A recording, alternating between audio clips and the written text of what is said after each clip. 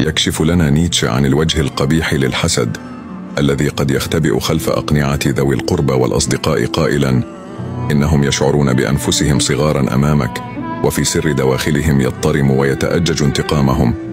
ألم ترى كيف أنهم غالبا ما يصيبهم البكم عندما كنت تقبل عليهم؟ وكيف كانت طاقاتهم تغادرهم مثل دخان يصعد من نار أطفئت للتو؟ نعم يا صديقي الضمير القلق أنت بالنسبة لأقربائك. ذلك أنهم غير جديرين بك.